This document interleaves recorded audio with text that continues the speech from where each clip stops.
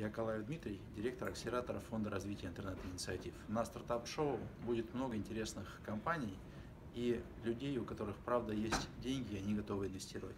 Приходите, посмотрите на инвесторов, представьте свою компанию, ну и можете поговорить со мной о том, что вы делаете и насколько вы будете интересны нам как инвестору.